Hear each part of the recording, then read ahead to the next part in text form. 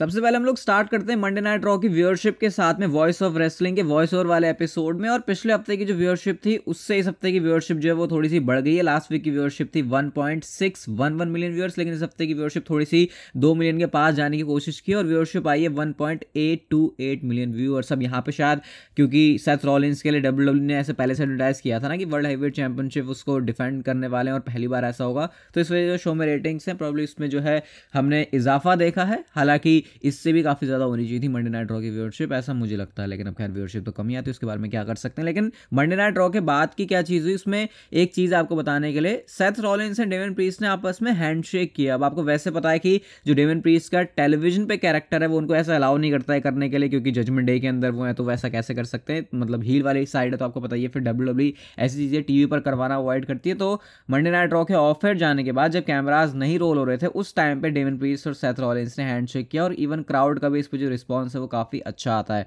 ये बात तो वैसे डब्ल्यू डब्ल्यू जानती है अच्छे से कि डेवन प्रीस्ट काफ़ी ज़्यादा पसंद किया जाता है उनको, उनके वर्क की वजह से। अभी वो हील बने हुए हैं, इस वजह से हमको उनकी जो है क्राउड की तरफ़ से वैसा सपोर्ट नहीं दिखता। लेकिन एक्चुअल में जब बाद में जाके उनका फेस टर्न होगा बाद में जाके कभी तो क्राउड उनको काफ़ी पसंद करेगा। इस बात में कोई भी शक नहीं है। अगली स्टोरी गाइज़ वीर महान से रिलेटेड है और ये डब्ल्यू डब्ल्यू के इंडिया वाले फैंस को काफ़ी खुश कर सकती है। अब पर्सनली मैं क्या सोचता हूँ वीर महान के बारे में आपको थोड़ी देर में बताऊँगा। लेकिन क्या डब्ल्यू डब्ल्यू का सोचना है, वो बहुत ज़्यादा मैटर करता है यहाँ पे, मेरा कुछ करता नहीं है। क्योंकि डब्ल्यू डब्ल्यू इस तरीके से वीर महान को देखती है कि वो अभी उनको तैयार कर रही है और आने वाले टाइम में वो बिग फ्यूचर होने वाले हैं कंपनी के लिए। देखो, ये वाली बात तो डब्ल्यू डब्ल्यू के दिमाग में है ही कि भैया इंडिया का एक सुपरस्टार को तो हमको तगड़ा वाला चाहिए। और जैसे हमने पहले भी वीर महान को देखा था, उनको बहुत हाइप किया था। हालाँकि उसका एंड सही नहीं हुआ, क्योंकि वो, कि कोई एंड ही नहीं था, उसका तो सही हुआ अच्छा होना तो दूर की बात थी। लेकिन फ़िलहाल अब दोबारा से वीर महान और सांगा और ये पूरी इंडस्ट्री जो आ रही है तो इस वजह से डब्ल्यू इनको काफ़ी बिग फ्यूचर इनका देखती है। पर्सनली मेरा क्या ओपिनियन है वीर महान के बारे में?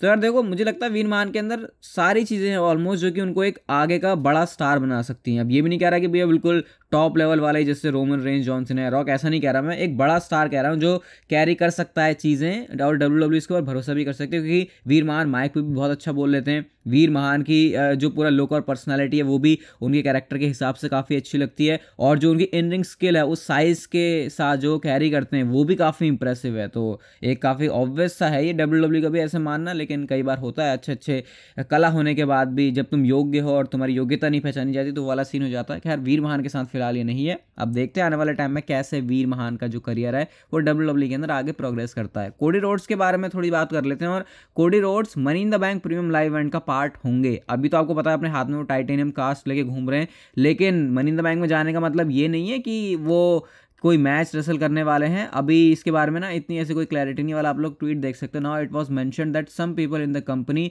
had pitch in the idea of possibly having Brock Lesnar travel to London for Money in the Bank not a match for what I heard यानी कि ब्रॉक लेसनर भी लंडन जा सकते हैं और कोडी रोड्स भी जाएँगे तो हो सकता है वहाँ पर जाके कोई भसड़ मचा दें, लेकिन फ़िलहाल मैच होने के chance Money in the Bank में तो कोडी रोड्स के नहीं है। और वो काफ़ी ऑब्वियस भी है, क्योंकि अगर कोडी रोड्स के हाथ की हालात देखे जाए इस समय तो वो हाथ में जब कास्ट लेके घूम रहे हैं तो ऐसे में अब मैच करवा दिया तो फिर उतनी फील नहीं आएगी। वैसे तो ब्रॉक लेसनिंग के सामने वो लड़ चुके हैं, लेकिन वो एक स्टोरी का ही पार्ट था कि भैया टूटा फूटा ब्रॉक ब्रॉक लेस नहीं टूटा फूटा कोडी रोड्स भी ब्रॉक लेसनिंग के सामने लड़ेगा। तो शायद ये चीज़ W W Money the Bank में ना करे बट अगर कोडी और ब्रॉक दोनों जा रहे हैं मनी इन द बैंक में तो भाई फिर तो भसड़ होगी। हालाँकि मैच एक्सपेक्टेड नहीं है फिर भी कोडी रोड्स और ब्रॉक लेसनर का at Money in the Bank premium live event Monday Night Raw का जो एपिसोड था, उसमें बैक स्टेज इस बार विंस मिकमैन थे। जी हाँ बिल्कुल सही सुना आप लोगों ने। वैसे तो जो विंस मिकमैन है वो बैक स्टेज नहीं होते, वो कॉल वगैरह से सारी चीज़ें हैंडल कर रहे होते हैं, लेकिन क्योंकि जहाँ पे इस हफ़्ते का डब्ल्यू डब्ल्यू का मंडे नाइट रॉ का एपिसोड था, वो डब्ल्यू डब्ल्यू के हेडक्वार्टर से सिर्फ़ एक घंटे की दूरी पर है तो इसलिए विंस मिकमैन बैक से आ गए। काफ़ी सारे लोग जब मंडे नाइट ड्रॉ होने से पहले ये न्यूज़ आ गई थी ना सामने कि विंस मिकमैन बैक्स ने तो काफ़ी ज़्यादा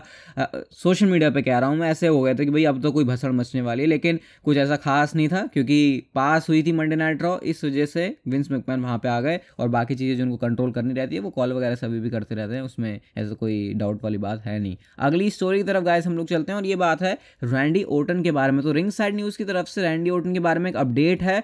अब मैं इसको पॉजिटिव अपडेट ज़्यादा लूँगा, हो सकता है नेगेटिव भी हो। उन्होंने ये बताया कि अभी रैंडी ओटन काफ़ी टाइम के लिए जो एक्शन से बाहर रहेंगे भी टीवी में आप लोग उनको एक्सपेक्ट नहीं कर सकते। लेकिन डेफिनेटली रैंडी ओटन की एक रिटर्न डेट ज़रूर है इस साल में। यानी इस साल के अंदर अंदर जो रैंडी ओटन है, वो वापस आ जाएँगे, ऐसा रिंग साइड न्यूज़ की तरफ़ से रिपोर्ट है। अभी आपको पता ही रैंडी ओटन के बारे में लोगों ने कितनी सारी बातें सुनी है। कभी तो ऐसा लगता है कि अगले ही प्रीमियम लाइव इवेंट में आने आने वाले हैं, कभी लगता है कभी आएँगे ही नहीं, कभी लगता है रिटायर हो जाएँगे, कभी लगता है साल के एंड में आएँगे। लेकिन फ़िलहाल जो लेटेस्ट अपडेट है ये बताती है कि रैंडी ओटन की रिटर्न डेट तो ज़रूर है और वो इस कैलेंडर ईयर में हो सकती है। तो हम पॉजिटिव वे में इसको लेके चलेंगे तो आई थिंक वो अच्छा ही है, क्योंकि अगर ये सोचें कि एक दो महीने में ही आ जाएँ और फिर अगर आप ये सोच कि यार साल के एंड में फिर मज़ा नहीं आ रहा बट अभी रैंडी ओटन जो है सर्जरी वगैरह उनकी हुई है तो उनको रिकवरी में भी काफ़ी अच्छा खासा टाइम चाहिए होगा। अब मुझे कुछ पता चलता रहेगा रैंडी ओटन के बारे में तो मैं आपके साथ भी शेयर करता रहूँगा, लेकिन अब पता चल रहा है लोगों को रैंडी ओटन जो टीवी पे नहीं आ रहे हैं इतने टाइम से, उससे पहले जब आ रहे थे तो यार किसी को इतनी वैल्यू नहीं हुई। ब्राउन सोमन की बात करते हैं तो ब्राउन सोमन के बारे में मैंने आपको बताया था कि उनको नेक फ्यूजन वाली सर्जरी से गुजरना पड़ा और ब्राउन सोमन जिस तरीके से बात कर रहे थे, मैंने आपसे कहा था कि ऐसा लग रहा है कि शायद इतना कोई सीरियस मैटर नहीं है ब्राउन सोमन के साथ में, उनकी नेक इंजरी इतनी कोई सीरियस नहीं है। हालाँकि सीरियस नहीं है बट इसका मतलब ये नहीं है कि उनकी रिकवरी में टाइम नहीं लगेगा। उनकी रिकवरी में भी काफ़ी टाइम है और बिल्कुल भी आसपास नहीं है ब्राउन सोमन की अभी रिकवरी का टाइम और हाल फ़िलहाल में बिल्कुल एक्सपेक्ट मत करो कि ब्राउन सोमन वापस आएँगे, आ जाएँगे। काफ़ी लंबा चौड़ा ब्राउन सुमन को टाइम लगने वाला है, उनकी इस पूरी रिकवरी से और टाइम लेना भी चाहिए, क्योंकि एक बार फिट होकर आ जाए वापस तो फिर अपना करियर वैसे कंटिन्यू कर सकते हैं। और वैसे भी मुझे ऐसा लगता है शायद इस चीज़ की उनको ज़रूरत थी, क्योंकि अब शायद हो सकता है थोड़ा जो वर्कआउट है वो ब्राउन में ना करें और ना करेंगे थोड़ा साइज़ गेन कर लेंगे और साइज़ गेन कर लेंगे तो उसके बाद काफ़ी महीने बाद वापस आ जाएँगे, काफ़ी महीने बाद वापस आ जाएँगे तो एक फ्रेश इमेज होगी डब्ल्यू डब्ल्यू रीपैकेज कर सकती है। और पुराना वाला ब्राउन सुमन जो फैंस चाहते हैं, क्या पता वो डब्ल्यू डब्ल्यू फैंस को दे दे। ब्रॉक लेसनर एक ऐसा रिकॉर्ड बना सकते हैं मंडे नाइट ड्रॉ में, जो कि 20 सालों से भी ज़्यादा का रिकॉर्ड होगा। ये आप लोग ट्वीट देख सकते हो, जो लॉन्गेस्ट एक गैप है मंडे नाइट ड्रॉ में मैच करने का, वो 20 साल 10 महीने और 14 दिन का है और ऑलरेडी इस टाइम से आगे निकल चुके हैं ब्रॉक लेसनर। तो अगर मंडे नाइट ड्रॉ में अपना करियर खत्म करने से पहले करियर एंड होने से पहले कभी भी ब्रॉक लेसनर मैच हासिल करते हैं तो वो एक ऐसा रिकॉर्ड बना देंगे जो कि लॉन्गेस्ट टाइम होगा मंडे नाइट ड्रॉ में कंपीट ना करने के लिए सबसे बड़ा गैप क्योंकि बीस साल, दस महीने और चौदह दिन वाली चीज़ से ऑलरेडी ब्रॉक लेसनर आगे निकल चुके हैं। तो सोच रहे हो, ये तो बड़ा अजीब है कि ब्रॉक लेसनर लगातार आते हुए मंडे नाइट ड्रॉ में और उसके बावजूद उन्होंने कंपीट नहीं किया खैर, ये कह सकते हैं द बीस थिंग्स हैं।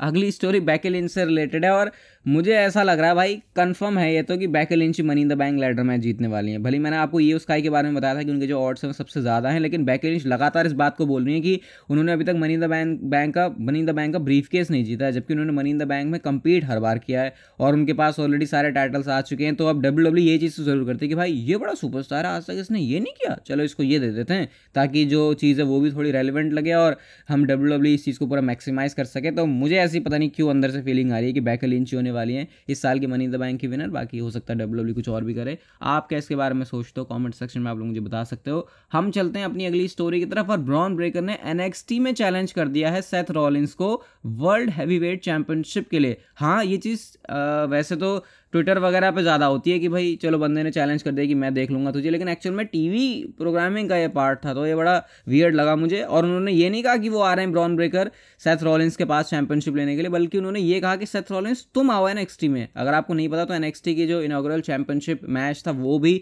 सेथ रॉलिंस ने जीता फ़र्स्ट एवर एन वो चैंपियन थे।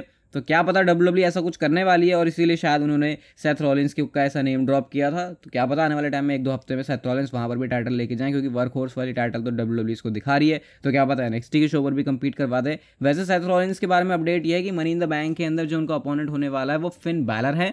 ये चीज़ हमने मंडे नाइट ड्रॉ पर भी टीज होती हुई देखी थी, जब फिन बैलर बिल्कुल शो के क्लोजिंग मूवमेंट में आ गए थे सेथ रॉलिंस के पास में। तो सेथ रॉलिंस इस तरीके से अपना जो अगला टाइटल डिफेंस है वो कर सकते हैं। वैसे हमने असली अखाड़ा पॉडकास्ट और यूट्यूब पर पूरी एक डिटेल वीडियो बनाई है इसके बारे में तो आप लोग जाके डिस्क्रिप्शन से उसे देख सकते हो। पूरी सेथ की बुकिंग जो हमें लगा बेस्ट वे में हो सकती है रसल तक। हम चलते हैं अपनी अगली स्टोरी की तरफ़ और सोलो सिकोवा ने अपने ट्विटर पर इस पिक्चर को पोस्ट किया है, जहाँ पर आप देख सकते हो Solo Sikoa, Jimmy Uso, Jey Uso Sami Zayn है। अब दो सुपरस्टार्स के ऊपर क्रॉस लग चुका है, सैमी जेन के ऊपर और जिमी ऊसो के ऊपर।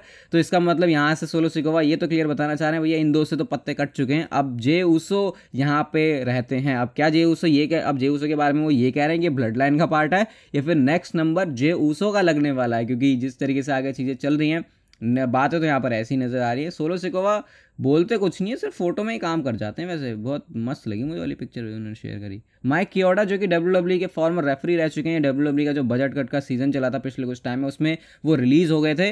अब माइक कियोडा ने इस बात को रिवील किया कि भाई वो पैसे कितने कमा रहे थे डब्ल्यू डब्ल्यू के साथ में। तो माइक कियोडा डब्ल्यू डब्ल्यू के अंदर वो रेफरी हैं, जो कि हाइएस्ट पेड वाले रेफरीज में से रहे क्योंकि इतने टाइम उन्होंने काम किया हुआ है। तो उन्होंने जो अपनी सैलरी बताई, वो थी two two forty two fifty के डॉलर्स के आसपास और अगर आप इसे इंडियन रुपीज़ में कन्वर्ट करो तो ये ऑलमोस्ट दो करोड़ के आसपास होती है। तो इतना एक रेफरी डब्ल्यू डब्ल्यू के अंदर कमाता है, अगर वो बिल्कुल टॉप लेवल पे कम्पीट कर रहा हो। हम चलते हैं हमारी आज की नेक्स्ट एंड फाइनल स्टोरी की तरफ़। और गाइस डब्ल्यू डब्ल्यू ने इंटरनली अपना जो मनी द बैंक का मैच है, उसको ऑफिशियल कर दिया है। सिर्फ़ टेलीविज़न पर इसको बताने की बारी है, और वो है Roman Reigns and Solo Sikoa versus Jimmy and Jey Uso के बीच में। और गाइस प्लान ये भी है कि लंडन में जो मनी द बैंक होने वाला है, यही होगा शो का मेन इवेंट मतलब ऑब्वियसली भाई, अब रोमन रेंज शो पर कंपीट करें तो मेन इवेंट के अंदर ही होंगे। अब इसके बारे में मनी द बैंक के बारे में एक और चीज़ अगर मैं आपको बता सकता हूँ तो वो ये है कि शायद possibly W W women's ladder match को शो के ओपनिंग में डाल सकती है। तो ये अपडेट है और अब इससे तो हमको ये पता चल गया कि ब्लड लाइन का जो स्मैकडाउन में एंगल होने वाला है, उसमें बहुत ज़्यादा पंगेबाजी होने वाली है और वो पंगेबाजी फिर लीड करेगी इस टैग टीम मैच की तरफ़। इसका मतलब कि स्मैकडाउन का एपिसोड एक ऐसा शो होने वाला है जिसको हम बिल्कुल भी मिस नहीं कर सकते, क्योंकि स्मैकडाउन में कुछ तो धमाका, कुछ तो तोड़फोड़ ज़रूर मचाने वाले हैं रोमन रेंस क्रिकेट की बात है, अगर आप लोग मेरे से ऐसी सुनना चाहते हो स्क्रिप्टिंग एडिटिंग भाई काफ़ी टाइम लगता है उन वीडियोस में तो आप लोग जाके डिस्क्रिप्शन से वीडियो देख सकते हो नए चैनल की।